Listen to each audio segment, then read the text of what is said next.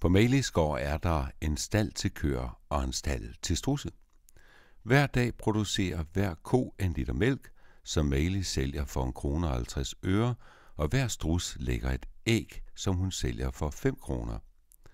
Maili tjener 138 kroner om dagen. Og vi skal nu skrive en ligning, som udtrykker antallet af køer og strusse, der er på Mailis gård. Vi siger, at C er antallet af køer. Hver ko producerer dagligt mælk, som er en krone og 50 øre hver. Det totale antal kroner, som køerne på Maliskov producerer, kan derfor skrives som 1,50 gange C, altså 1,50 gange antallet af køer. Det er beskriver altså, hvor mange penge Mali får for sine køer om dagen. Lad os nu se på, hvor meget hun tjener på sine strusse om dagen. O beskriver antallet af strusse. Hver strus producerer et æg til 5 kroner per dag. Det strussene producerer, kan vi derfor skrive som 5O. Nu skal vi finde ud af, hvad Malis totale indkomst er per dag. Vi får at vide, at hun tjener 138 kroner om dagen. 138 kroner. Det er den første del. Det er en ligning, der beskriver antallet af køer og strusse, der er på Malies gård. Og man kan sige, at ligningen er en sammenhæng mellem antallet af køer og strusse og antallet af kroner, som Mali tjener. Hvis der på Malis er 36 dyr, for mange af dem er så strusse. Jo, da vi ved, at der kun er køer og strusse på gården, skal antallet af køer plus antallet af strusse i det her tilfælde give 36. Hvor mange af de 36 er så strusse? Og nu er det frem med tegnebrættet, så vi kan løse det her problem. Vi ved, at hver ko på gården producerer mælk, der svarer til en krone og 50 øre om dagen. Det er altså alt det, køerne producerer. Og nu kommer vi til det, strussene producerer. Det skriver vi lige med en farve, man kan se. Males indkomst for strussene. Hun tjener 5 kroner per æg per strus gange o strusse. Det er ikke et 0, det her det er et O. Det ligner et 0, og det er derfor, det aldrig er en god idé at bruge O som en variabel faktisk. Vi må lige huske, at det her er et O og ikke et 0. Vi sagde, at Mailis samlede indkomst er 138 kroner om dagen. Vi ved, at der på Mailis gård er 36 dyr, og vi antager, at der kun er køer og strusse på gården. Antallet af køer plus antallet af strusse skal derfor give 36. C plus O skal være lige med 36. Det er 36, og der er et par måder, vi kan løse det her problem på. Vi har to ligninger med to ubekendte. Der er flere måder at gøre det på. Vi kan løse det ved substitution, og vi kan løse det ved at tage multipla af de her ligninger, og derefter lægge dem sammen for at komme af med variabler. Det kaldes også elimination. Og lad os i det her tilfælde gøre det med substitution. Lad os trække et C fra på begge sider. Vi får så, at antallet af strusse er lige med 36 minus antallet af køer. Antallet af strusse er lige med 36 minus antallet af køer. Nu vil vi tage det her udtryk, vi har her, og sætte det ind i stedet for O heroppe. Derfor kommer den her ligning til at hedde 1,50, eller vi kan bare skrive 1,5 gange antallet af køer plus 5 gange antallet af strusse.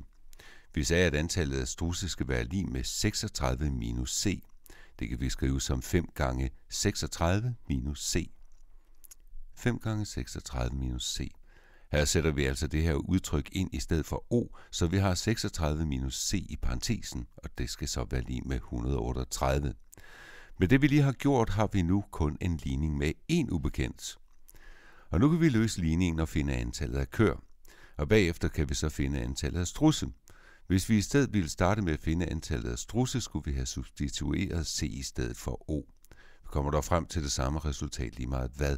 Vi får 1,5 gange antallet af køer plus 5 gange 36, og hvad er 5 gange 36? 5 gange 30, det er 150, plus 5 gange 6, og det er 30 mere. 150 plus 30 er 180, og det er 180. Plus 180 minus 5c er lige med 138. Lad os se. Lad os lægge 5c til på begge sider og trække 1,5c fra på begge sider. Vi lægger 5c til. Vi vil gerne have seerne over på højre side af lighedstegnet. Vi lægger 5c til på begge sider. Vi lægger 5c til på begge sider. Og nu trækker vi så 1,5c fra på begge sider. Vi skriver minus 1,5 hernede. Og lad os trække 138 fra på begge sider også. Minus 138.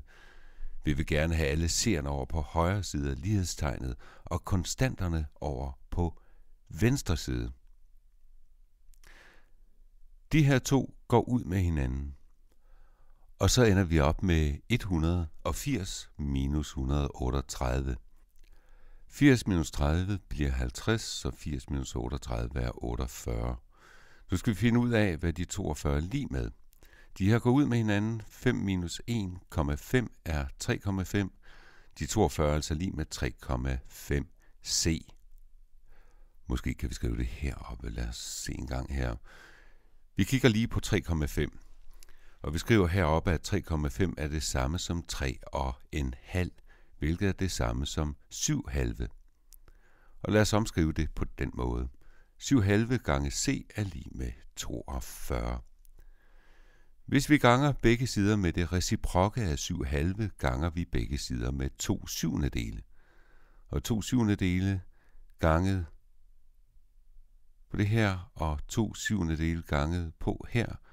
Vi får så, at c er lige med 42, og 42 divideret med 7 er lige med 6. 6 gange 2 er 12, der er derfor 12 køer på Malis gård, men det var faktisk ikke det, vi blev spurgt om. Vi skal finde ud af, hvor mange strusser der er på gården. Vi ved, at antallet af køer plus antallet af strusser er lige med 36. Antallet af strusser er derfor lige med 36 minus antallet af køer. Vi har lige fundet ud af, at der er 12 køer. Antallet af strusser må derfor være 36 minus 12, hvilket er 24. Og 24 er heldigvis en af svarmulighederne, og vi svarede rigtigt.